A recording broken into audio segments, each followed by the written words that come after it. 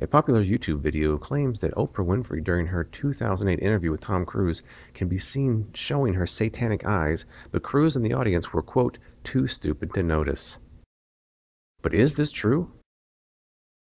We located another copy of the video, and you can clearly see that Oprah Winfrey's eyes look normal as she closes them and then reopens them while looking upward toward the audience.